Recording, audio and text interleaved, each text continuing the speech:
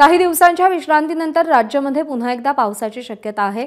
शनिवारपासून मुसळधार पावसाचा इशारा हवामान खात्याने दिलाय. मध्य महाराष्ट्रासह विदर्भ आणि मराठवाड्यातील काही भागांना येलो अलर्ट जारी करण्यात आलाय. दरम्यान पुढच्या अठ्ठेचाळीस तासात राज्यामध्ये पावसाचा जोर वाढण्याची शक्यता असून मध्य महाराष्ट्रासह मुंबई ठाणे आणि रायगडसह मराठवाड्यामध्ये मुसळधार पाऊस पडेल असा अंदाज वर्तवण्यात आलाय.